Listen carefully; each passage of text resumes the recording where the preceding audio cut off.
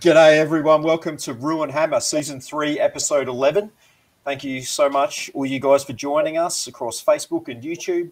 You guys listening on the podcast platforms as well. Extra special shout out to all our wonderful Patreon subscribers as well. It's because of your awesome support enables us to bring this visual presentation to you via Restream and bring you the content and the guests that you'll enjoy so much. So, yeah, big shout out to you guys. And how's Hammer going tonight, mate? Kia ora, bro. Kia ora, everyone. Yeah, I'm doing great. Um, again, I just want to echo your your thanks to our wonderful Patreon subscribers uh, whose support allows us to do what we do here every week, which is uh, provide the best Warriors content on all social media platforms. And and just a reminder to everyone that has tuned in tonight, the reason we do the show live is to get the involvement of of you guys who are watching. So please, as we move through the discussion points tonight, um, you know, join the conversation, leave your comments. Um, mate, what a weekend it was. Uh, we packed in quite a bit on Saturday afternoon, and aside from the game result, uh, it was a pretty good day. Yeah, mate, awesome day, jam packed. Um, yeah, it was fantastic. Yeah, as you said, take the result out of it. Awesome day it was. Uh, mate, spent with the legend himself, Warrior number 76, Big Mark Tookey, and his beautiful partner, Rach. It was such a surreal feeling to be watching the game with one of our uh, one of the greats of our club, real Warriors legend, cult hero that he is. And dead set, isn't he a man of the people? Uh, he was like saying hello to everyone. He was posing for photos. He's just such a personable person, and you know, always so giving of his time. And and Rach, she's just such a beautiful human, and it was a real highlight of the day to be able to enjoy the game with them and. Um, some good banter we had going there as well, particularly yeah. you, and, you and Tix's multis. Yes, uh, absolutely it was, mate. Yeah, uh, everything you then you, you just said then is spot on. Uh, I couldn't have put it better myself. And yeah, um, two, one thing Tooks and I have in common is we don't mind a, a little dabble on the on the footy. Um, anytime try scorer multis happening left, right, and centre. Um, I think I I think I got the closest. I think I think I got five five out of a six leg multi. Uh, Walshy the only one not scoring for me for my multi to get up, but he, he was desperate for Euan Aitken to get over, wasn't he? Euan Aitken, yeah. Euan Aitken, I was cheering like, for Walshy. Yeah. we, we get with five minutes to go. So, mate, we'll take a try from Walshy and Euan Aitken right now. absolutely, absolutely. Um, mate, we also got to catch up with um, former Warriors NRLW coach Brad Donald, um, who works for the NRL now. Uh, he saw what we were posting on um, social media, identified exactly where we are sitting in the stands, and, and made his way to come over and say hello. Um, mate, pasty skin redhead. He couldn't be in the sun for too long. He had to get out of the sun. and then, and then um, we also caught up with um, Channel Seven Journo and, and, friend of the show and uh, a guest that we've had on here in uh, Katie Brown. Um, uh, they were both there to support the NRLW game. It was great to catch up with them, uh, have a bit of a chat. And then after the game, um, you know, we made the effort to hang around. Uh, we made our way over to the Preston Campbell stand, and uh, we had a quick chat with Cam George and, and Justin Morgan, who were awesome to of them to give us their time. And then made our way out to the team bus and uh, waited to see some of the boys when they came out. And as always, mate, they were so giving of their time, not just to us, but for the other fans that waited around to see them. Uh, but you could see in their demeanour and also by the conversations we had the boys that um, they were gutted about that loss. Yeah, we said it last week when we the the previous week, sorry, after we'd seen them after the Dragons loss, and they were disappointed. But this one, like the guys were all saying the same thing. It was like they beat themselves, and it was again really refreshing to hear the squad taking that ownership and responsibility and and recognizing, I guess, where it all went wrong. Yeah. Um, I, I, want to give an extra special shout out to Dave and Nat Curran, who are just two amazing special people. And we thank them for bringing us into our circle and allowing us to catch up with them for dinner after the game. Just had a had a fantastic uh, chat with Dave and Nat, and um, great to get some insights from you know the parents' perspective of a, of a first grade player. So that was yeah, that was it is. Uh, that's right, mate. They are. They're, they're two very down to earth people. Um, spending time with them, you can see where Josh gets his attributes from because he's yep. such a, a down to earth, level headed, um, you know, person as well. Uh, the success that he's having now doesn't go to his head, and that that comes from you know great parenting um, that from the the Currans. Um, it is interesting that you said uh, you know it's it's awesome to get a parent's perspective um, because that's it's something that we've we've discussed a little bit in the last couple of weeks off air. You, uh, yourself, and myself and something that we're, we're probably going to do midway through the season is get um, some of the parents of the players on, uh, so that we can, you know, get their um, thoughts and, and, opinions and their their feelings of, of you know when their their son made their NRL debut or, or their daughter. Um, you know, uh, when they made their NRL or NRLW debut, when um, you know what it's like watching them every week. Uh, you know, we watched last week sitting there in the stand like this uh, every time the, the whole game, and, and, we even we had the same riding it, riding every moment. Yeah, yeah, we had the same conversation with Joe Price last week as well. So yeah, getting her um, her uh, thoughts and opinions in regards to when Steve played uh, as a uh, wife of a NRL player, and then also her brother Brent, uh, who went through so many injuries as well. Um, so we're going to do a special midway through the season where we get those uh, wonderful people on. They've all agreed to come on and have a bit of an uh, in-depth chat with chat with us. Um, but uh, yeah, mate, um, should we get in, into the nitty gritty and, and, pull this one apart? Yes, mate. Let's do it as we say. Before we do, off. Oh. Before we do, uh, Richie Sterling, our good mate Richie from, um, from the stand up over in New Zealand, he's come up with a Let's a, a, multi, yeah, a multi idea for this week. Maybe you could have a bet uh, which Tigers captain has to do the losing speech after the game this weekend. Possibly. Um, okay, yeah. There's there's there's only five to choose from, so yeah, we'll see what happens there. exactly. Let's get into it, mate. Mate, let's get that band aid ripped off and let's go over Saturday afternoon's game out there at Cbus. Uh, it's got a graphic there that we're going to put up. Um, so the Titans versus the Warriors. Titans 20 over the Warriors 18. So try Marzhew with a double, Fermor a try in the first set of the game, and Phil Sami with tries for the Titans. Sexy Sexton, two from four. Warriors 18, uh, Egan, Montoya, and Pompey with the tries. Walsh, three from three.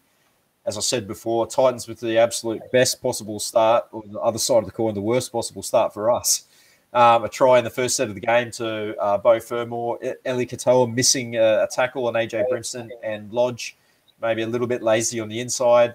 Um, although we did find out later that he was quite crook and uh, with that stomach bug, had him vomiting pre-game, so uh, had no energy. Probably, probably shouldn't have played, but anyway.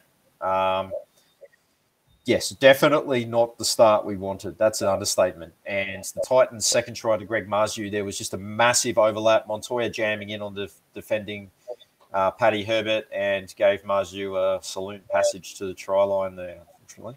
Yeah, a lot of criticism for Montoya being out of position. Um, but I, I rewatched this a couple of times, and and um, look, we play a compressed defense, and in a compressed defensive line, he follow his inside defender is in. Um, defensively, the team was very poor in that first half, and, and compressed defense is only effective if you have a good line speed to stop the ball movement getting to the edges. Um, it needs the defenders to tie into the man next to them, and if not, that's when gaps appear in the line and enables the opposition to get those line breaks on, on the inside and get over the advantage line. And um, um, you know the fact that I was was jamming in. Um, for the Titans' second try, Euan Aitken came out of the line very quickly, and then he stopped on his heels uh, for some reason, and it kind of opened up a bit of a gap between himself and CHT, and CHT then who had to jam in on um, Jayden Campbell, and then that meant Berry then had to jam in on David Fifita, and then Montoya had to jam in on on Herbert, and that just left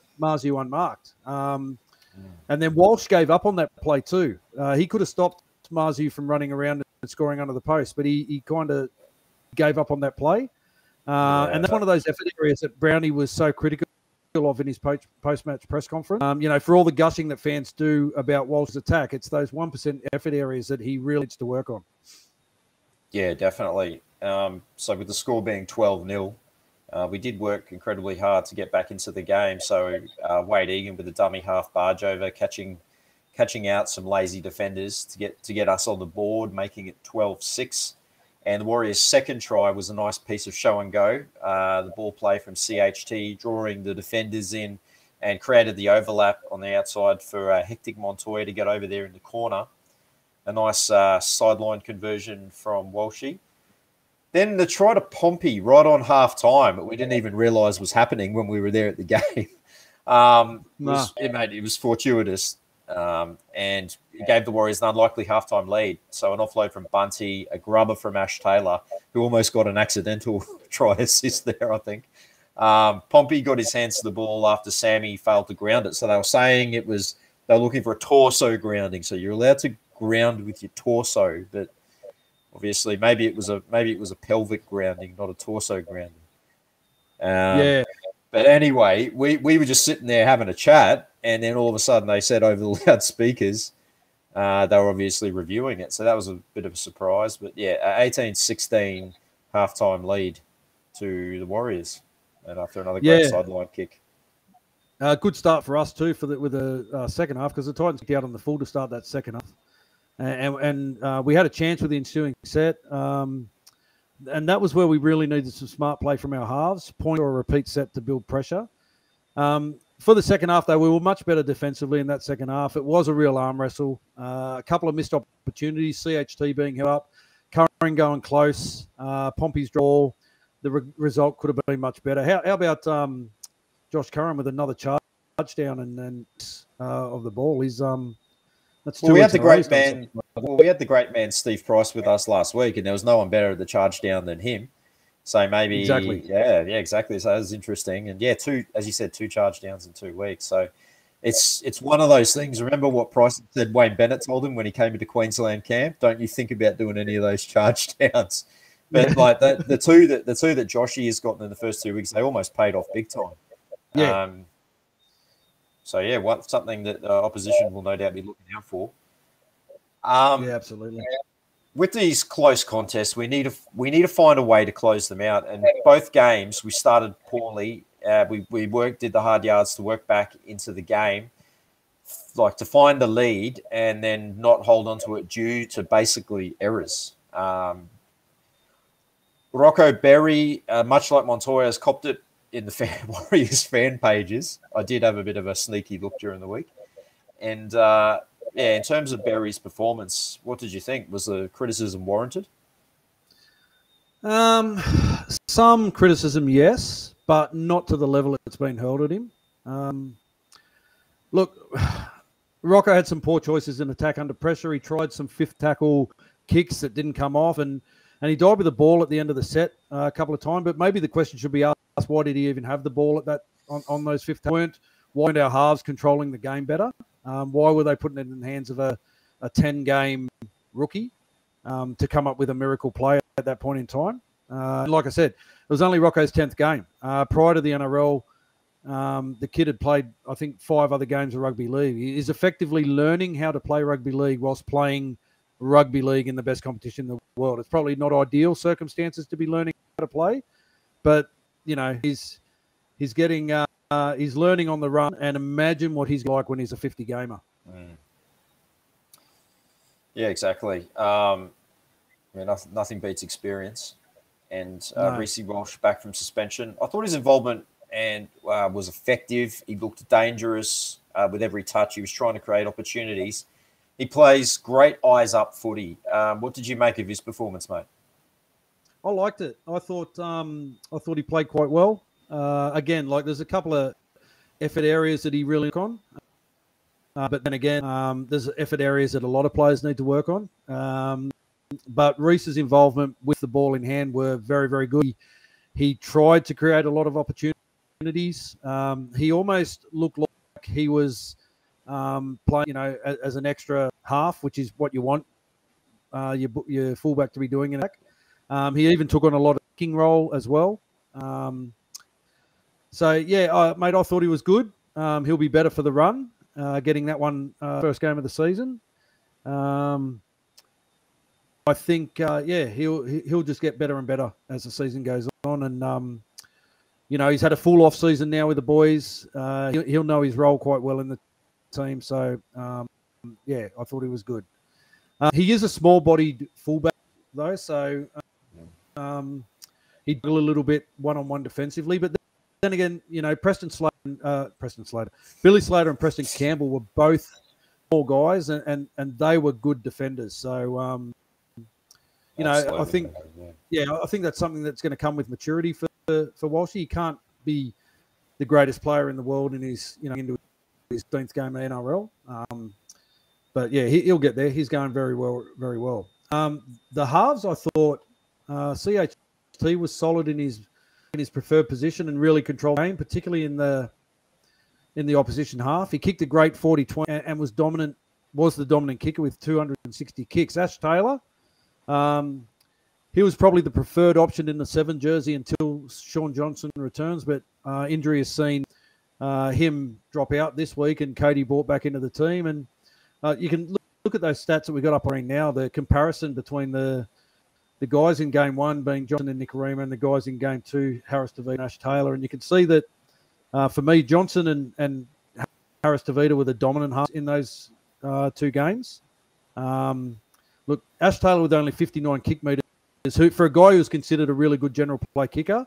Uh, and as I said, I know Walsh took on some of the responsibility, uh, five, five or six kicks for 140 kick meters. But, mate, you want your half control game, and I don't think Taylor did that. Um, and the glaring one for me is the 11 missed tackles. He only made 14 tackles, and he missed 11. Um, that's a massive red flag in his performance for me. What what what did you make of his uh, of our halves performances? And, and I mean, you just look at those kilometres that Johnson was able to get in that round yep. one game, which, you know, enabled us to stay in that game. A little uh, bit disappointing, kick meters in game two. What yeah, we, def- we definitely struggled kick wise. And I mean, we said a number of times at the game, like it was either kicking straight to the fullback or not finding space. Um, yeah, Ash Taylor still looks short of a gallop.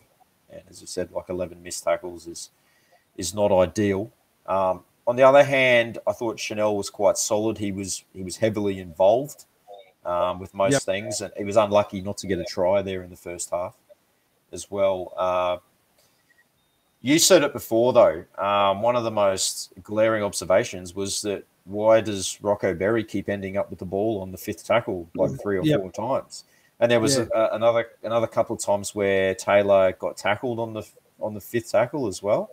Yep um, which you know says says a bit about the communication and the and the way that they're kind of the play is unfolding. It's not not running according to plan. Look, look, I, I don't mind a centre or because Euan Aitken got caught out a couple of times with the ball in his hand on last tackle. I don't mind an edge backer ending up with the ball in his hand on last tackle, five meters out from the line. If your halves are setting up or set up play to be attacking that area, but there was no attacking setup play before that. It was just pretty much dummy half, pass, pass, and he ended up with a ball, and it's something. Um, you know, they hadn't worked to one side to try and open up the defense a little bit or anything like that. It was it was like they had no ideas, and, that was the best they could come up with at the time. We, we did note while we were there that there was about three or four times when they just took the tackle five meters out, and we're like, well, I guess it does beat kicking it dead and giving away the seven tackle set, but on the other side of the coin, you would never expect to see that that kind of um, end of set that many times in a game. No, uh, Mark Roberts has said Cam Munster missed the same amount of tackles as Taylor did. Complaint wouldn't have helped either. Uh, it wouldn't have. And in regards to Cam Munster, uh, uh, I don't care. I don't care how many tackles Cam Munster missed because Cam Munster doesn't play Warriors, and um, uh, yeah, uh, tongue in cheek comment, mate. Um, but yeah, I, I, see, I see your point. But yeah, for me, you know, Ash Taylor's, uh, you know, that was his his opportunity to really impress, especially against his old club, uh, in front of his family and friends, and you know, try to make that sun jersey his own, and, and possibly even the six jersey for when Shaun comes back, and he, he just didn't do it. Nah, we um, expected a bit more. Yeah, he had, he had everything everything there to play for as well. So yeah, yeah. Look, I'm hope, I'm definitely hoping that he gets another opportunity, and I'm sure he'll um, he'll have another he'll have a big game uh, further on. Oh, with Shawnee Glass in the side, Mr. Glass. I'm sure he'll have another opportunity somewhere down the line. Uh, I just want to talk about the front rowers for a minute. Is uh, if Brad's here? Um, the front row rotation with some massive numbers AFB, Bunty, and Pene, all with big meters, high involvement stuff. Pene, made he's such a great buy for the club. He brings a level of professionalism and expectation coming from that Storm system that he can hopefully filter into our club. And, and speaking to him after the game, he's such a humble young man. He's very softly spoken as well. And yep. yeah, just, just an all round great dude. Yeah, big meters from those from those boys. Um, 186 meters for for AFB, 145 for Bunny. Um, the interesting thing, uh, there was a stat that somebody posted on a, a page um, the other day in regards to Aaron Pene, and um, mate, I like the energy he brings onto the field. And in the past two games, when we've been down on the scoreboard by 12 0, uh, he comes on, and when he goes off, we're actually leading. We're in front. Um, it's a massive, uh, like you know, I know he's not the one that we are leading, but it's it's kind of a very um, uh, significant stat in his favour that um, you know he provides probably a, a, good deal of energy that he brings. Um, the other one too, I thought uh, Jesse Arthars. I, I, thought he had a really strong debut in the centres. Um, I think he's done more than enough to make that position his, and, and he'll be better in the cakes as he finds his feet in the team. But I, I thought it was a really, really um, good performance for him. What did you think of Jesse's performance, mate? Yeah, he was solid. Um, I he probably would have liked him to make a few more runs, uh, but he looked good in defence. And when he did run the ball, he ran it strongly and unlucky not to have a try assist there as well. Was a bit yep. of a Peta Hiku style flick out there that unfortunately went uh, through the breadbasket. But, uh, yeah, no, he looked he looked good, impressive, and as you said, he should be uh, he should be a fixture in that centre position. Absolutely, and I know we're fast sounding like Josh Curran fanboys, but uh, what can you say about this guy, mate? Just 20 NRL career, 22 games, uh, and he's fast becoming man. Um, another outstanding performance for us: 148 run meters, 51 post contact, three tackle breaks, one offload, 44 tackles um, in the middle, a, a, game high for us. I think uh, Wade Egan with 40 next. Um, and, and, he's even now on the radar of Freddie Fittler. Uh, there was a great to read that, wasn't it? The comments. It was. It was awesome yeah. to read that. Yeah. Um, it's it's always good to, to you know um, guys are getting noticed for the good stuff that they're doing, um, and he's just doing it in in spades. Um, yeah, absolutely fantastic uh, on field on field display. He got our Tories for the match again this week with um, Adam Blake getting the two points, and and we thought Chanel was quite good in the uh, in the in his his uh, role. We gave him one point. So um, Joshy's now on six, Adam's on four, and Chanel and are both on a point each. Yes, exactly. Um, I would like to now talk about the outside backs. This is a bit of a contentious topic as well. A lot of uh, experts out there on social media uh, are calling for the sacking of quite a number of our outside backs. So let's take a look at the overall situation that we have at the club. So last week's squad was Montoya, Pompey, Berry, and Arthars. So look at Montoya, the most experienced, 74 games. Pompey has 35 games. Arthars 30 games and Berry just the 10 games. So really not much experience between them all. And apart from Montoya's last season, none of the guys had stringed together successive games in high numbers, really. And Arthars' seven games came in 2019, I think, for the Titans. Pompey, 10 games in 2020 before his 14 straight games for us last year, 21. Uh, Montoya's best was 12 games for the Bulldogs back in 2018. So, not really what you would call regular first grade stuff. So I guess we've got to acknowledge that it's a pretty inexperienced three quarters, three quarter line that we're putting out on the park, and you know errors are going to happen. Um, yeah. yeah, I mean, calling for players to be dropped is one thing, but the only options that we have are Ed Kosi, play, only played the five games, and Junior Ratuva, who's yet to play NRL. So I guess we kind of people need to manage their expect expectations a little bit there, and not just we can't just come in with a broom and sweep out all these players because we just don't have the the um, the cattle there at the moment, especially with uh, Billy and um, Dallin injured. Yeah, that's right. Um, yeah, it, it's. I mean, at the beginning of the season, I said that I would have liked to have seen Euan Aitken retained in the in the centres, but Brownie has decided that he's a back rower now, so that's where he's playing. Um, and I'm sure if if push came to shove and we got any more injuries in our back line, that um, you know you'll a spot there or even merch for that matter. But for the you know what, four so eight eight guys that are now um, 30 man roster that are considered outside backs. Um, two are injured and six are available. And as you said, the two, that aren't being used in third at the moment are Ed Kosi, um, who's played the only played five games and is still learning, and Junior Atuva, who is yet to play. And I think um, they're probably going to be getting a little bit of game time in um, Cup, and, and, you could say the same goes for um, uh, for Jack Murchie and Ben Murdoch. Um, you know, we have very reliable. You know, a lot of people are saying, oh, you know, they should be brought into the side, but we have very reliable information that due to injury and other circumstances, those two guys are significantly underdone in terms of fitness levels um, to be ready for the end. We saw, you know, Merch was the 18th man in round one, and Benny only got 17 minutes in um, round one, and then dropped back to um, Q Cup for the Redcliffe, and they both played for Redcliffe this past week. Merch got um, 80 minutes in uh, the back row. He ran for 118 metres. He won offload, four tackle breaks, and 23 tackles, which was a, a good solid work for Merch. Um, and Ben got 53 minutes. He ran for 81 metres, two offloads, and 20 tackles. But I think both those boys need to spend, you know, another week or two in Q Cup just to get some match fitness up.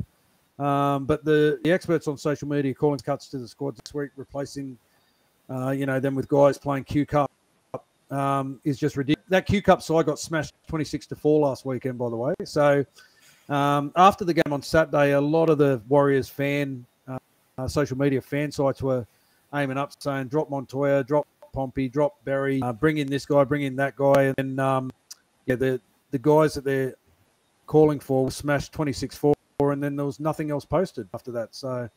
Am I missing something here? Is there is there something mate, I'm missing? I'm going to shoulder arms and let that go through to the keeper. okay, mate, you do that. uh, Caden Rogers has has noticed that the do's out again tonight. Uncle Uncle yep. Jesse, I've never seen you without a cap on on the show. Why have you ditched the cap two nights in a row? All I've got to say to that is, have mercy. Oh mate, house. I did have to go. I did have to go and look up what uh, Uncle Jesse's catchphrase was. By the way, it has been a long time since I watched Full House. Anyway, yeah. that being said, that being said, okay, let's yeah, let's look at the round two results and some of the other games. Um, yep. Okay, so Thursday night we had the Storm versus the Rabbits. Interesting game this one. Storm getting away with a one point victory. Storm 15, Coates, Papenhuyzen, Munster tries, Grant one from three. Papenhuyzen with the all important field goal and golden point to the Rabbits 14. Johnston, Paulo, and Graham with the tries. Mitchell, uh, none from three, but he did absolutely slot a two point field goal. It's nobody's business. Um, yeah. Yeah, shout out to Craig Bellamy for his 500th game as Storm coach. Absolutely remarkable achievement. Um, he has a win percentage of just over 70% at the Storm, 351 wins from his 500 games coach. That is just off the chain. Um, South went into the game with a 0 to 17 record in Melbourne, which has now been extended to 0 to 18. That is some drought. Yeah, it um, is, isn't it? It's, it's unbelievable. Interesting that uh, Demetriou chose to start Cam Murray from the bench, um, opting for Siliva Havili at lock. And the scoreline of this one, I don't think was really a true indication of how the game was actually played. And although there was those hectic final few minutes, and they were exciting, don't get me wrong, it was actually a pretty much mistake riddled game. Um, Melbourne did appear to be in control, and they scored their points in a 13 minute period from 11th to 24th minute, and then not a single more point until golden point extra time with the field goal. So it was probably a little bit of false reading there. Um, South handling was awful, and they again they just looked to be they lacked direction, like running into each other, running around in circles, kind of more of the stuff we saw against the Broncos. They completed just 61%, uh, but they did have 54% possession. Uh, Jaxson Paulo's move to the centre has not really worked out. Demetriou was forced to move him back to the wing and Taane Milne the centres because he was struggling that, that much. So the Rabbits up to the 68th minute were diabolical in attack, and Melbourne uncharacteristically vulnerable and ill-disciplined there. So 40 missed tackles from Melbourne and 10 penalties conceded and 17 errors, which have, which would have made the super coach's blood boil. And let's be honest, it doesn't take much to make his blood boil. No. um, yeah, as I said before, absolute monster two-point field goal, which put us into golden point territory. And then Papenhuyzen uh, just slotting it to ice the game. And South would be starting to realise, I think, that losing coach Wayne Bennett, Adam Reynolds, and Dane Gagai has been a costly exercise. Yeah, absolutely, mate. It, I mean, I remember watching that game last week. It seems so long ago now. So much has happened since then. Um, shout out to Charlie Russ, who's yeah, tuned in okay. to watch, and he, he I will say, Gossy. yeah, okay. Gossy, Gossy. Okay, I appreciate, you, Charlie, appreciate the, that, mate. Um, yeah. Okay, yeah. from now on, Gossy. Yeah, apologies. Gossy. Apologies for getting that wrong. Yeah, and apologies to Ed. Mm. Um, the next game, uh, which was first game of Friday night, was it? Uh, Dragons yes. versus Panthers. Uh, Dragons 16. Sloan, Su'A, Lomax tries. Lomax two from three goals.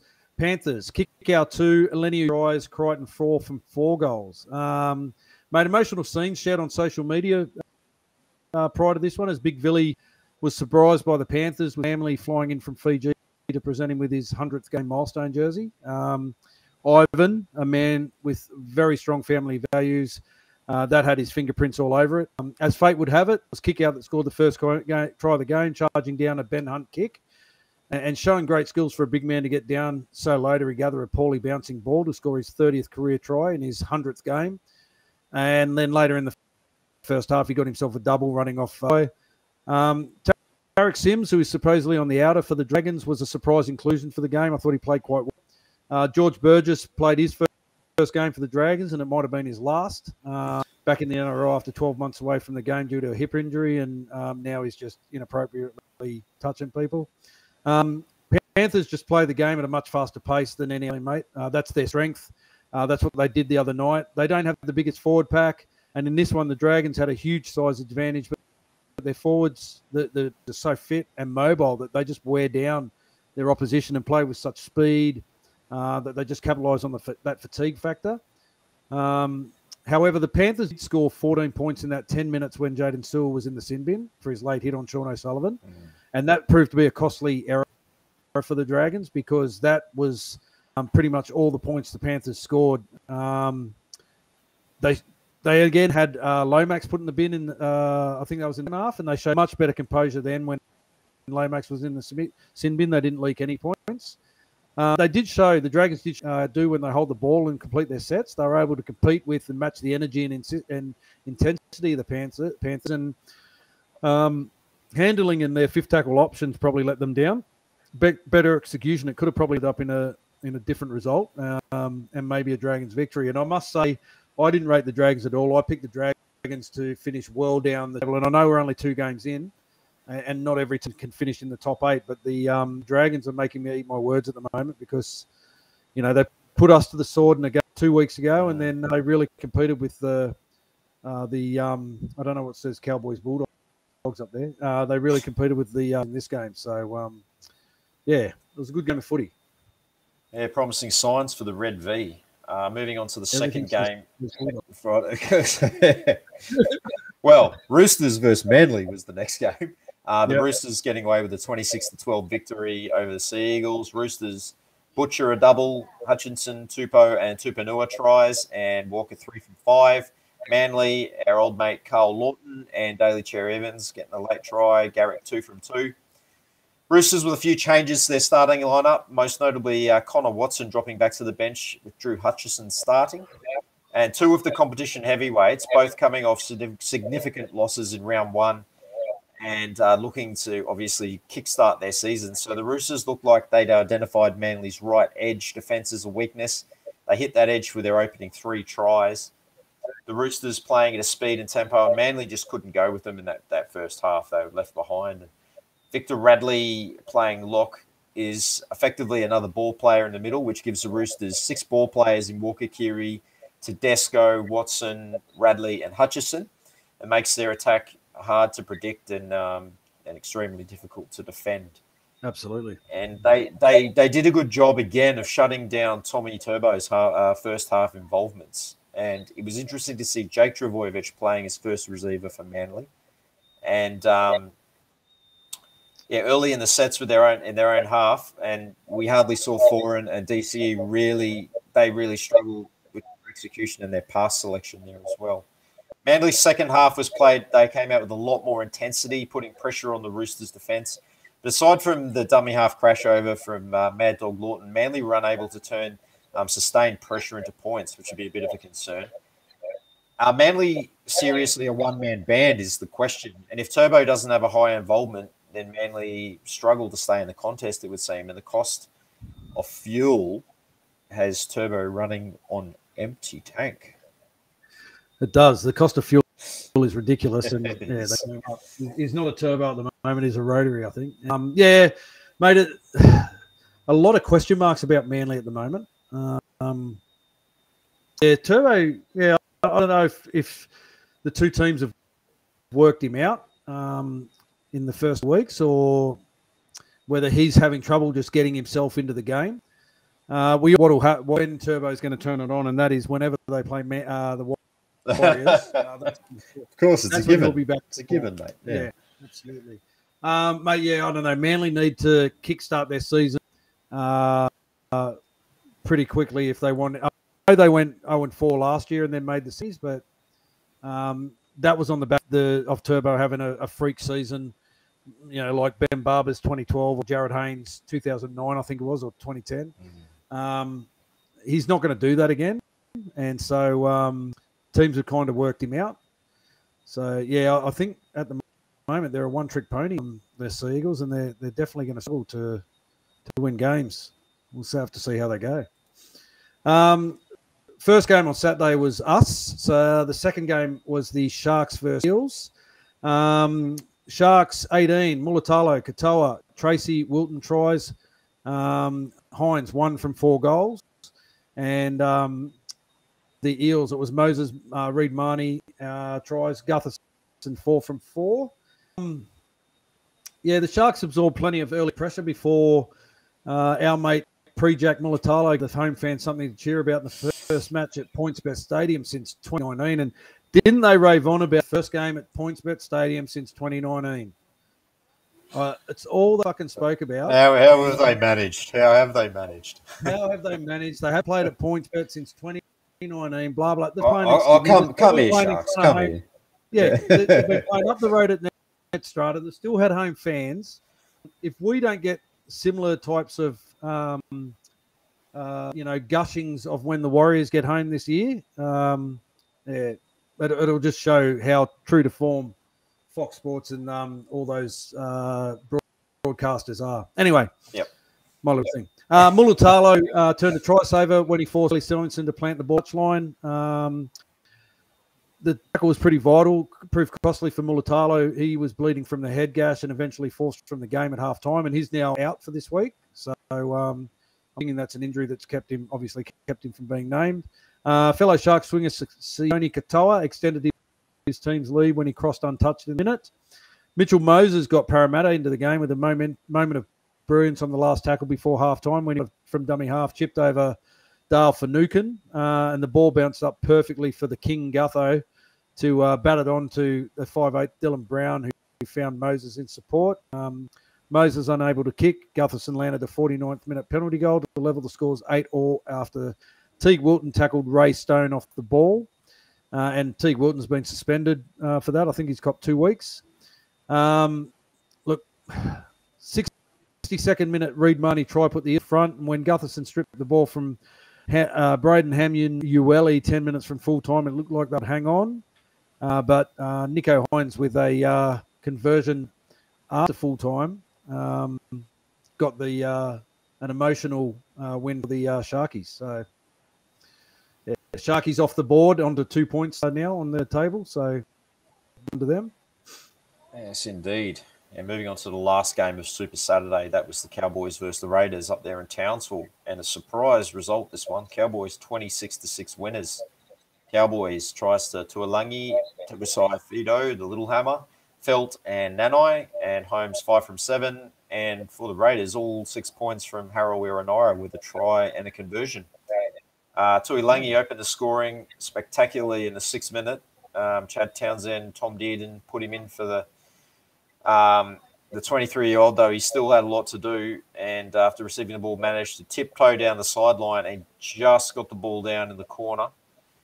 Um, but following that, Jack Wighton and 40 20 put the Raiders into attacking position.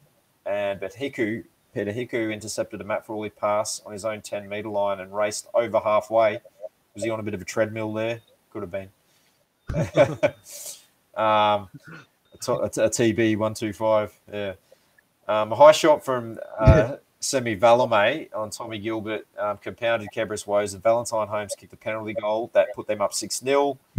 Um, Kiwis forward Harawira Naera did it all himself, um, scoring an individual solo try. Got the Raiders on the board in the 30th minute. The Cowboys responded though, and they upped their defensive resolve. And Holmes and Taulagi forced errors with some brutal shots on Adam Elliott and Matt Frawley, respectively, before halftime.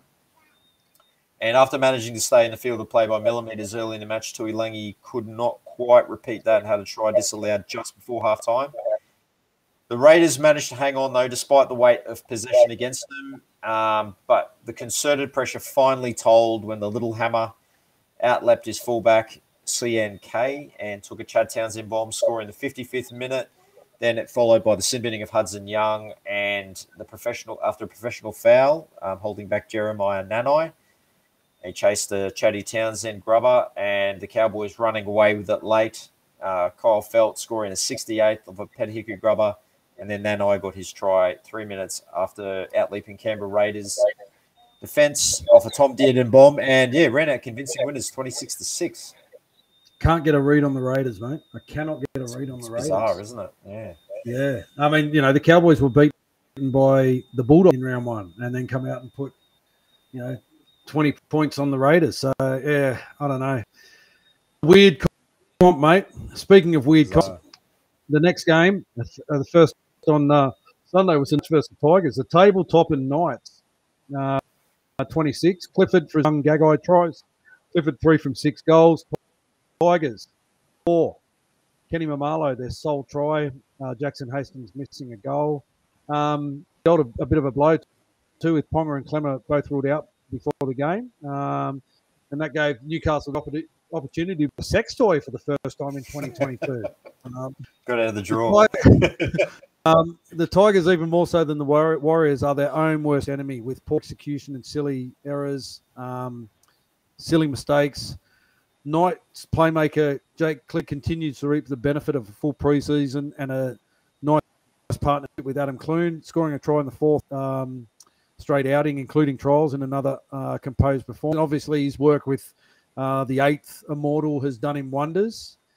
Um, the Predator Dom uh, Dom on the wing. He also scored back-to-back uh, NRL games and looks a much improved player this year. Dane Gagai has helped immeasurably with the uh, that Maroon stalwart again being immense. Um, Young was always on report for a high tackle. Um, the Tigers' first half, mate, it was just uh, full of coach killing errors, with simple missed tackles, drop balls, unnecessary penalties, making it almost impossible to get in the contest. Um, that Tyrone Peachey sin for repeated infringements, and then he smacks the ball out of the player's hand. Like he's one of the five, and I suppose if you got five, five captains, you can afford to lose one into the sin bin. Um, yeah, I don't know, mate. Woogie, Um, Woogie would be breaking out in hives, wouldn't he? The love, love would, blisters, mate. whatever Yeah, he's got. love blisters, Barry. Um, the Ti- Tigers five eight Jackson Hastings. He looked the most likely of the Tigers, um, but uh, he, he's out now for three weeks too. So great for us, bad for the Tigers. Um, all that um, pressure is going to fall back onto Luke Brooks now. Uh, yeah, they they're a hard watch. The poor old Tigers They haven't even put their grub how poor they are. Uh, there it is. Um, yeah, but uh, mate, hype real about the Knights, or is it the fact that they played a, a slow starting Roosters and then just the uh, basket case of West Tigers um, is the reason that they're sitting where they are on the on the competition uh, ladder? It's hard to say, you know. Um, as you said, yeah, it's round two. Uh, they'll come up against some uh, stiff opposition, so we'll see how they go by about round five or six. You can usually tell by around round six or seven how most teams are travelling. So Yeah, we'll see. The Knights, but yeah, absolutely surprise packet this year. Yeah. Bringing us on to the final game of the round, and this was a much hyped game: the Broncos versus the Bulldogs, and Broncos coming away with a 16-10 victory. Um, Bulldogs 10 points came from tries Burns and Marshall King, and Burton kicking one from five. And Broncos 16, Herbie Farnworth with double, Corey Oates and Reynolds two from three. Huge build up. Obviously, this was the debut of Adam Reynolds, the star signing, his debut for his club. Uh, congrats to Corey Oates. So that try was actually his 100th NRL try. So well done to him. Yep. And Dogs Dogs played with a lot of width and a lot of energy. And Matt Burton was a lot more involved in this game than than, it, than he was in round one, proving a constant threat. His running and kicking game, in particular, forcing errors from the Brisbane backs and his towering bombs, uh, going agonising close to his first try in blue and white when he was held up in the first half. Tevita Pangai Jr., didn't he look like a man on a mission uh, against his former club? We knew he would be. It's the way he plays. Um, heavily involved early with some potent runs and tackles and a couple of handy offloads. He did, however, find himself on report on uh, with contact on the kicker early and with an early challenge on Adam Reynolds. As we said, Corey Oates, 100th try, draws him level with club legend Allan Langer. Uh, so he's in good company there. Um, Addo-Carr had a relatively quiet game on the stat sheet, but it was uh, it was anything but in the literal sense. You know, loudly uh, firing up his teammates at every opportunity and celebrating even the tiniest of wins that they that they got on the field like it was a premiership deciding moment. He was well hyped. Uh, yeah, Reynolds did provide what we all thought he would, and that's a steadying influence in his first game of the new club with his reliable kicking game it was important, and as we said before, exactly what the Rabbitohs are missing in his absence. Yes. Yep. And and he was unlucky that an uncharacteristic, uncharacteristic, I should say, piece of improvisation didn't come off when Tony Staggs dropped his between the legs pass for a potential try. Uh, for Herbie Farnworth with his two tries, one of the side's best, um, with a double and some match turning plays, and finishing up with more than 250 run meters as well. Yeah, no surprise he's being courted by five different clubs at the moment. Yes.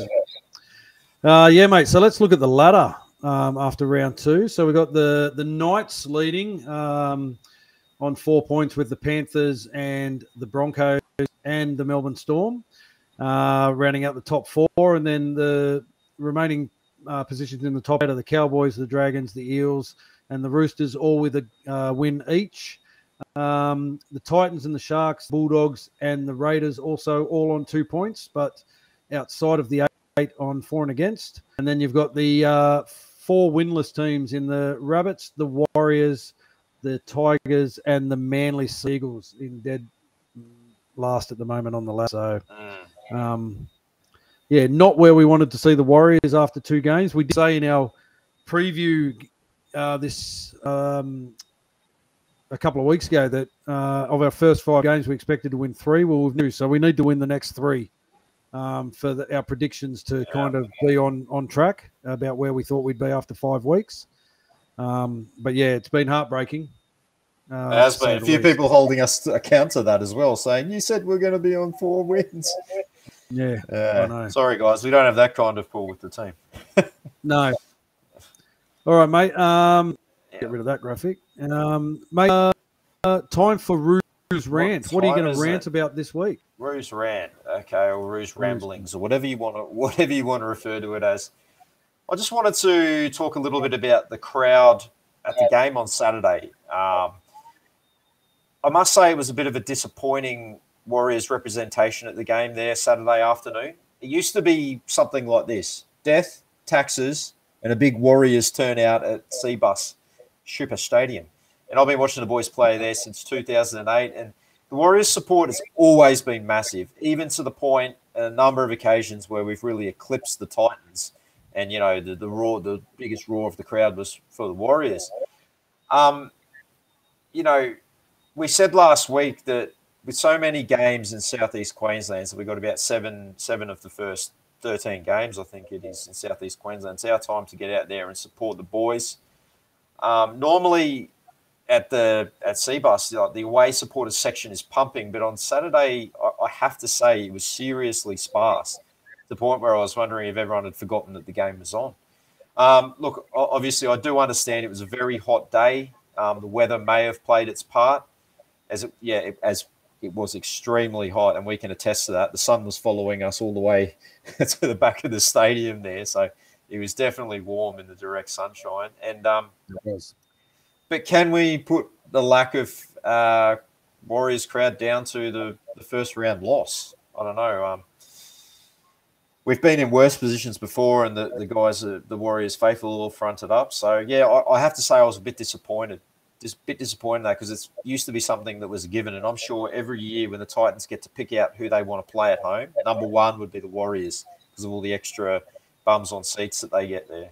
Um, yeah, unfortunately, wasn't the case on Saturday. But having said that, it was great to see some of the same faces that we'd seen from the sunny coast, and always great to catch up with with the uh, Warriors faithful there at the footy. Absolutely, yeah, mate. All right, mate. Yeah. What have we got for Hammer's hot topic this week? Oh, mate, mine's a bit of a contentious one. Um, strap yourself in, mate. Uh, it's going to be. It's a bit of a rant, um, mate. I'm I'm slightly annoyed at uh, some people's uh, misconceived and wrong opinions uh, of what they think is fact in regards to you and I, Roo and Hammer, and the so-called perks that we constantly receive. Um, I want to set the record straight because I hate hearing this. Um, I hate people reaching out and asking us for stuff. Look, we have never received, we have never been offered, we have never asked for anything from the Warriors organization, the management, the staff, or the players. We don't get free merch. Um, every bit of Warriors merch we have, we've bought from the Warriors store, Rebel, Canterbury Puma, just like everyone else. We don't get free tickets to the games. We purchase all our own tickets. We always have. Um, we have never been given a free ticket to any game. Uh, this year, because we we have built um, a trusting relationship with the Warriors, we are having the same tickets held for us at Moreton Daily Stadium, but we're still purchasing them. The the Warriors membership staff are just holding four tickets for us, and we're still purchasing them the same as everybody else. Um, when people see posts uh, of us at games or, or, or, or, out and about, interacting with players and, and so forth, and, and they say things like, oh, gee, you guys are lucky, or they post, oh, gee, you guys are lucky. I uh, wish I could do what you do. There's nothing lucky about anything we do. Um, we've worked very, very hard to get to the position we're in. Um, and to get to see the players after the game, we hang around after the game. That's it. Uh, we see where, where they exit the ground from, you know, which is obviously at the back of the grandstand, uh, where the sheds are. We see where the team bus is, and we can wait. It's no spe- special privilege. Any fan can do what we, we, we do in that regard. Yes, we do have good relationships with the staff and the current squad and ex players and some family members. But as I said, we've worked very hard to build these relationships and these bonds. Um, we've earned their trust and respect, and we certainly don't take that for granted. Um, what we we're doing um, from this, uh, aside from the generous support from our Patreons, which we we greatly appreciate, it actually costs us money to do this webcast and the podcast every week. Um, the licenses we need to stream it, um, the programs that we use, all the graphics, the daily posts, all those apps and programs cost money. Um, the time it takes to prepare the show, the research we do, the research we do when we have a live guest on, all these things are things that take away from our normal lives. Now, I'm not whinging about that. We do that because we love our team, we love our club, and we enjoy putting this together. Um, what I don't like is just people just assuming that um, we're in a privileged position, and we're not. We're just two fans, the same as everybody else. Just, decided, just like you guys. Yeah. Decided to do a podcast um, or a webcast. Didn't know really what was involved with with doing it, and it's kind of grown from there. And that's it. Um, you know, we're appreciated by the club because of what we do in terms of you know promoting them, uh, you know, talking to the players and, and supporting them. You know, we're going to all the games and so forth. But that's it. That's as far as it goes. We've never received anything from the club. Uh, they've never offered, and we've never asked. We never will. Um, so I just wanted to to get that out in the open um, so that people are aware of um, of of what's involved because it, it just frustrates me when people think otherwise. Yeah, exactly. We're, we're not we're not any more privileged. As as you said, mate, we're just a couple of fans that started it because this is the kind of content that we probably we thought at the time we would have enjoyed watching. So, um, and it all comes down to building relationships, and and we've been yep. fortunate to have built some really good relationships with our uh, the Warriors coaching staff, players, and and especially the ex players as well. And we formed some really good friendships with some of those guys, and that's and it basically just comes down to that. And yeah, yeah. we're not we're not like super fans. We're not extra special fans. We don't get given, as you said, we don't get given anything, and um, and that's why we are so appreciative of you guys who do support us on Patreon, and you guys who have bought shirts as well, because that's what it's it's you know just uh, in the name of um, you know covering our costs, because you said it does it does cost us money to make the show, but we do yeah. it because we love it. It's a labor of love, and we're just going to continue to do it because we love the team and we love footy and we love nothing more than talking footy with all you guys. Absolutely. And thanks, Anthony Peak, uh, for the kind comments, mate. Uh, appreciate it. All right, let's move on, mate. Round two. Yes, exactly. Round three. Round three. let's not relive round two. Round three. Round three uh, the team named to take on the West Tigers in the first leg of the Mike Dorreen Cup obviously every time we play the Tigers, that's the silverware that's up up for grabs. So the team named by Brownie this week, Mister Mister Brown's boys. You, yep. Just bear with me. Let's have a look at Mister Brown's boys this week.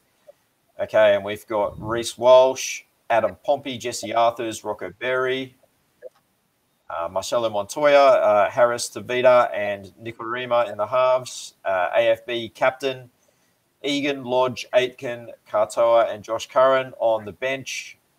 We have Jazz Tevaga, Bunty Afoa, Aaron Pene, Bayley Sironen on the extended bench. We have the merch, BMM, Otokolo, Pedersen Rabadi, Kepu, and Ratuva and Ed Kosi.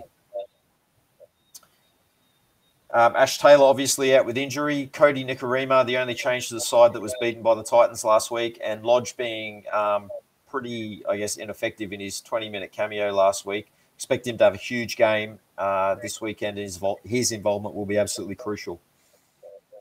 No real uh, surprises, mate. Um, again, you know, uh, barring um, injury, there any uh, changes. Uh, if anyone listened to Nathan Brown's press conference after the Titans loss, he he said as such. He said that it's a young squad, and you know um, they've got to being accountable for their mistakes, and you know you, you learn from your mistakes that uh, that they're making. And um, he he actually said that there wasn't going to be many changes, so it doesn't surprise me. Um, and you know what? It's a good looking side. I thought the side like could have beaten the Titans, uh, and they should have. And I think this side um, will beat the Tigers. Uh, so I, I, don't expect any late changes to the 17. I think it'll be one to 17 um, barring you know COVID or some tripping over their toes at training or uh. something like that. But, but the, this is the contentious uh, area for us is the halves. Um, the the guys, uh, whoever gets the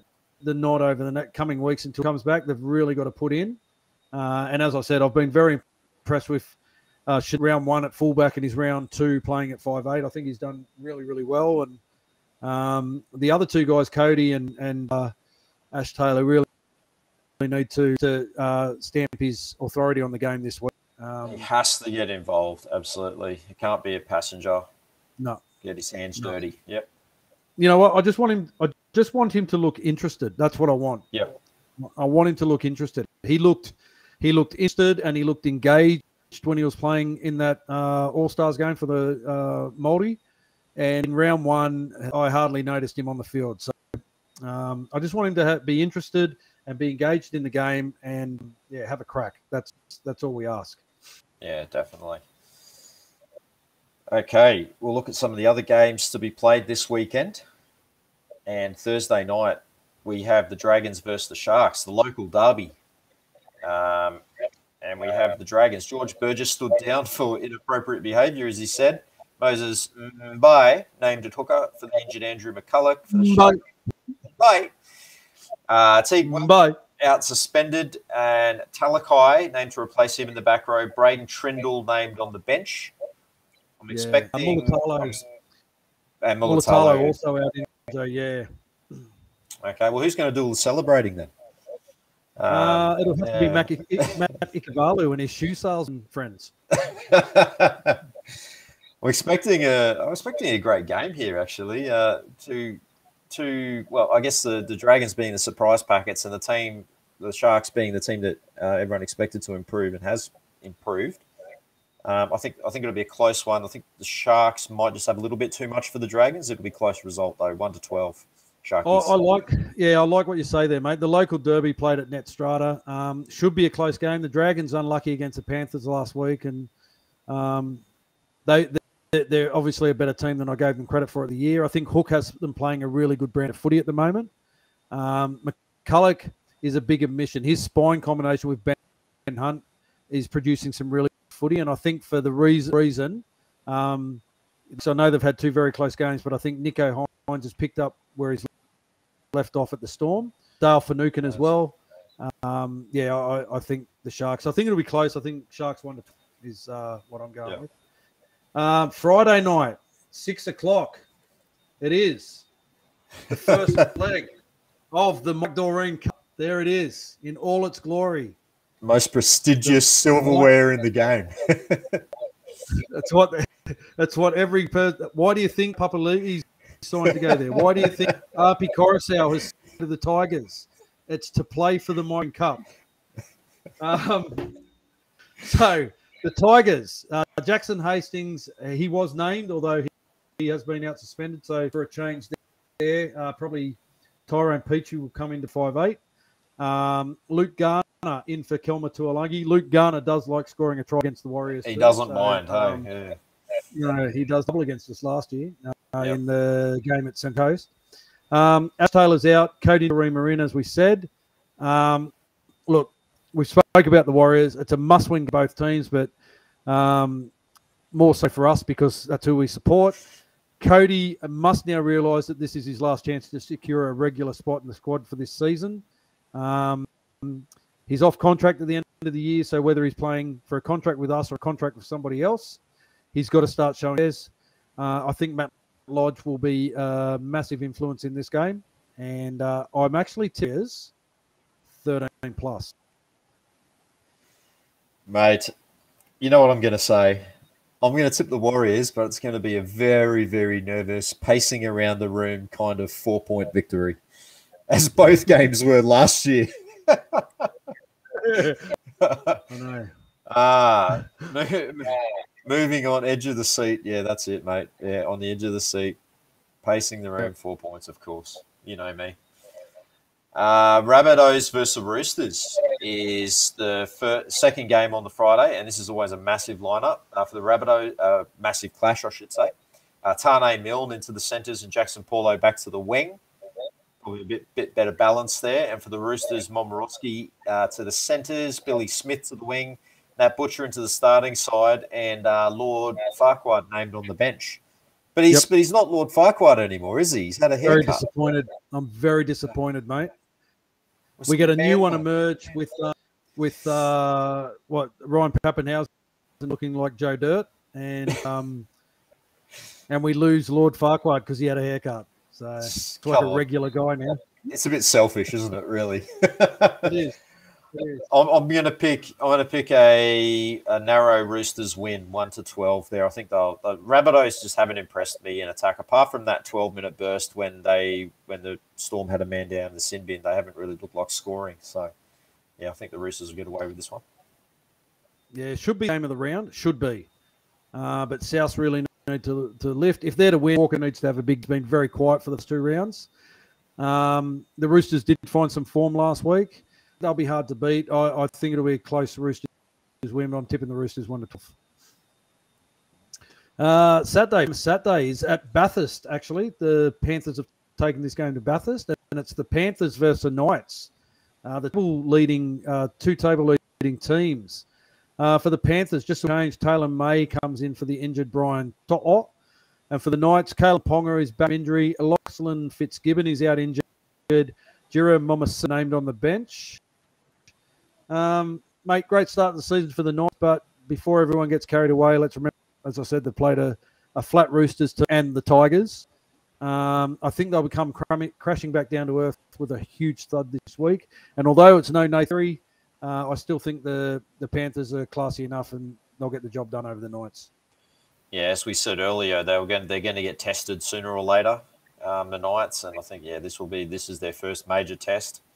Uh, yeah, yep. I can see the Panthers running away with this one as well. Uh, yeah. Moving on, the Storm versus Eels. Now this is an interesting one. No changes to either side. Don't forget, last year the Eels beat the Storm twice.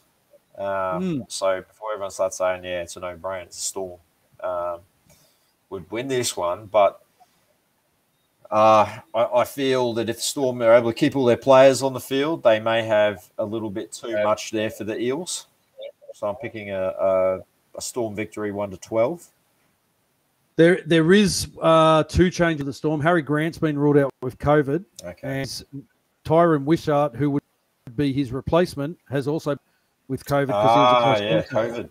Yep. Yeah. So um, there will be two changes to that. Um, uh, that the storm, uh, storm side. side. I, I don't know what it will be. We'll have to wait and see. Changes at this stage to the Eels. Um, yeah, I still think the the Storm um, spine of Hughes, Munster, and Papenhuyzen uh, will get them home. I, think it'll be close, but yeah, one to twelve for me. Next game, Raiders versus Titans. Uh, Raiders welcome back Jordan Rapana. Uh, he's back from suspension. Uh, Brad Schneider, he's back from his bout of COVID, named at halfback. Uh, for the Titans, as expected, no changes to the side that narrowly beat the um, the Warriors last weekend. Uh, mate, I can't hear it read on Canberra. Um, you know, they'd come from behind win against the Sharks in round one. They got off the park by the Cowboys in round two. Rapana being back is a huge in for them. He's he's all uh, high involvement. Um, he's a bit of a niggler too. He can get under the skin of some of these boys. Um, and I, I must say, I thought the Titans were very lucky to get away with the win at home last week against the Warriors. Um, I don't think the trip to Canberra will do them any favors, and I'm actually going to tip the Raiders one to twelve. Yeah, I think being a home game for the Raiders, uh, they'll return to a bit of form here. The Titans weren't spectacular um, last week in beating us, so I think I'll, I'll stick with the Raiders. Uh, just a quick shout out to Jacko, who's watching on YouTube, mate. Thanks for joining us, and I appreciate all your comments. Um, Sunday, this is another. This is a this is a round for some big clashes, isn't it? Local derbies. It's got everything. Broncos versus the yeah. Cowboys. These are always fantastic games and always go always really close. Often golden point. Um, at the time of printing, no changes to either side. I don't believe there's been any COVID disasters there as of yet. So Broncos and Cowboys both unchanged. This will be interesting. The Cowboys uh, you know, str- struggling round one, having a big win against the Raiders last week. Uh, but it is being played at Suncorp, and with Adam Reynolds back in the Broncos side, I'm going to pick them to for a close win, as it always is in these uh, games. Yeah, Cowboys were the big prize last week, piling on the points against the Raiders. Broncos with two wins from two games, and a home game at Suncorp on a Sunday Arvo. Um, it's what they've always wanted. Remember, that's what they don't want the Friday night games. They want the Sunday Arvo games. So I'm sure there'll be a massive crowd out there. Yeah, that's exactly right. Um, yeah, I like that t- uh, Broncos uh, lineup. I- will only be playing Selwyn Cobbo fullback, uh, but that's just me. Um, yeah, I, I think those in a close one. Broncos one to twelve, and the final game of the round is the um, Wooden Spoon Sea Eagles versus uh, no changes to either side that has been. Um, mate, Trent Barrett's got the Bulldogs playing some good footy. Um, their new recruits are all stepping up. Uh, Manly really need to find something. Uh, Cherry Evans, Tom Trbojevic, Jake Trbojevic, they, have got to really stand up. One of their better players the past two weeks has been Lachlan Croker at, at hooker. He's had a lot of involvement. Um, I'm torn, mate. I can't believe I'm saying this. I'm torn, but I've tipped Manly one in round two. I'm going to tip them again in round three and see how I go. Um, so I'll tip the Sea Eagles one to twelve. Hacker Time Rugby says, "Call me crazy, but I reckon the Knights are the real deal." Well, you're not crazy at the moment, but No. we'll see. Um, yeah, as regards to that game, I'm going to go the other way. I, th- I'm, reckon the Bulldogs might be able to spring an upset here. It's, um, I'm, I'm not saying that with a lot of will see. confidence. We will see. um, guys, don't forget about our live shows coming up. So, our live chats and events in 2022. So, every Tuesday, we've got our NRLW breakdown, and next week will be our review of the final round of the uh, home and away season. Uh, it'll be our round five review. Every Wednesday, obviously, our NRL show. So, next week will be our round three review. Hopefully, talking about retaining the uh, Mike Dorreen Cup and of course we'll continue to make all those connections um, with the former players and bring you more of those interviews that you guys will enjoy. Uh, yeah, absolutely, mate. Um, keep an eye out on our events page on Facebook for any upcoming pre-fan uh, fan pre-game meetups as well before other games. Um, next week we'll be announcing our pre-game meetups for the Redcliffe uh, games. The games being played at Moreton Daily Stadium. Um, our good friend Lisa Marie from Warrior Nation is in the uh, final stages of organising the venue there for us for those meetups. So um, that'll be a great for anyone going to our home games at Moreton Daily Stadium, a place to meet up uh, and um, and uh, you know uh, make some connections with like-minded fans and over to the game and watch the boys win. Uh, just a reminder: don't forget that um, Magic Round, uh, round ten, we've got a Magic Round fan meetup at the Lord Alfred Hotel starting at 12 p.m. and that's on Saturday, the fifth, uh, 14th of May. Yep. So put that in your diaries, in your uh, mental notebooks, whatever it is that you've got. Um, going to have a couple of special guests with us: Warrior 76 Mark Tookey, Warrior 86 Kevin Campion, and Warrior 127 uh, Grant Rovelli will all be joining us for them. Yes, absolutely. Hoping that maybe uh, one or two more former legends may come, but we'll see how we go with that. Um, we just want to talk about the merchandise as well. The merchandise pre-sale that we just had. We want to, we really want to thank all you guys who did purchase the Steve Price halftone Heroes shirts uh, during our very limited pre-sale window last week. So those are now in production with our good friends at Torius, and we'll be getting them out to you as soon as we can. Um, so we'll be in contact with you guys soon to get those uh, postage details, and uh, you have you repping uh, Warrior 121 in no time. Make sure you guys do keep an eye out for for our next shirt, which will be released in a few weeks. Again, it'll be uh, available for a very limited window. And uh, purchasing a shirt from us, look, it's just another way that you can help support us. So we, we, we really do appreciate that. And that's it's all in the name of uh, everything that you give to us goes back into the show. Exactly right. Uh, second leg of the mic important. Goes in the first true game in 30, 31 months. True, mate. It is. Uh, um, it is. And uh, we're hoping that the Mike Dorreen Cup might make it over there for the uh, itself. Exactly. Um, sit at side, red, blue, and green streamers on one side, and some orange and black streamers on the other. It's the players are in the dressing room. They can run past it and go as they run out into the field. So um, Oh, Stevie Williams has a quick question here for me. Lakers, will they make the play in? I'm afraid, Stevie, I think the Lakers' time is up. Go the Heat.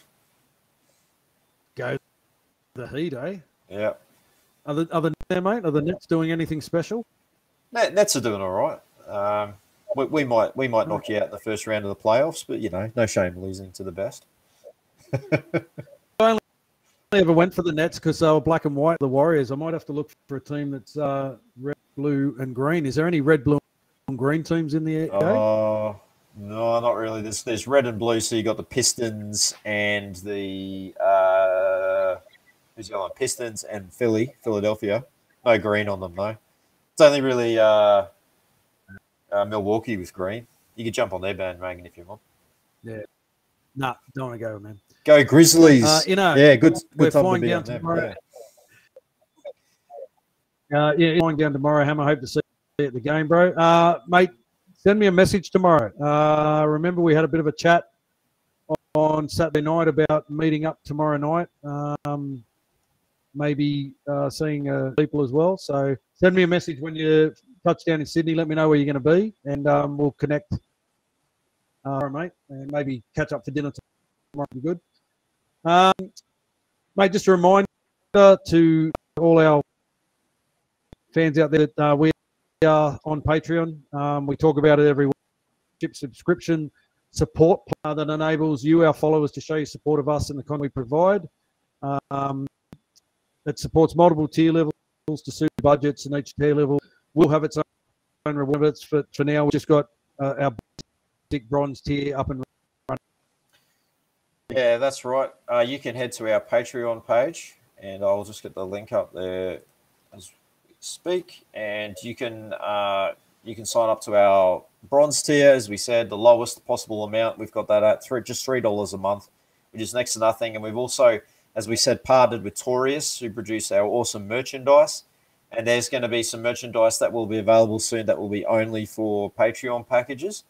So keep your eyes open for that, and we'll have exclusive Patreon only merchandise. So there'll be some tees and some hats and other things like that. Only be available to silver, gold, diamond and platinum subscribers. So once those tiers are available on Patreon. Absolutely. And as always, we want to thank our bronze tier subscribers Daniel Delore, Peregrine Falconer, Sean Kurzweil, Fabian Moroa, Stevie Williams, Christian Catley, Alf Tuolave, TK Harris, Ted Clark, Inamete, Lisa Marie Bateman, Ken Wills, Nigel Phillips, Kane Fraser, Jermaine Downs, and Malcolm Earnshaw. We thank you very much and uh, appreciate your support. Yeah, absolutely. Thank you, legends. We, we appreciate each and every one of you.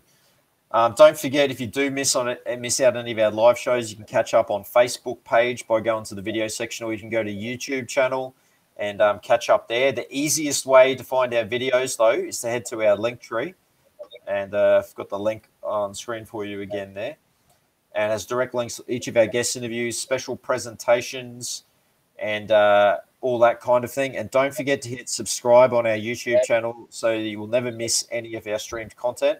Mate, it doesn't cost a thing.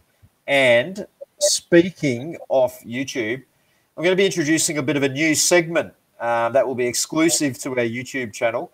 So, in an effort to improve my health and fitness and get rid of some of these COVID kilos that I keep telling you about, these these guts mm-hmm. that are uh, is forcing me not to wear white jerseys at the moment, if you know what I mean.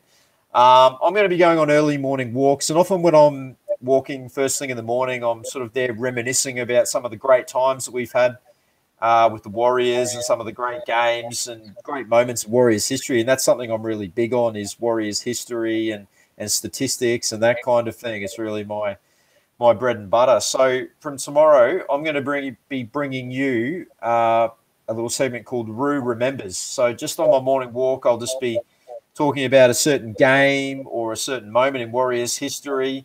It'll be just a short video uh, where I look back on these moments and just sort of give it to you, give my own sort of unique perspective on that. So I'm hoping to have one of those up by tomorrow.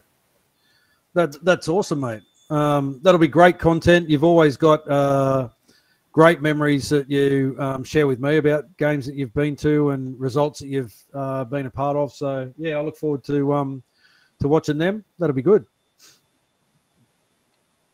Yeah, exactly.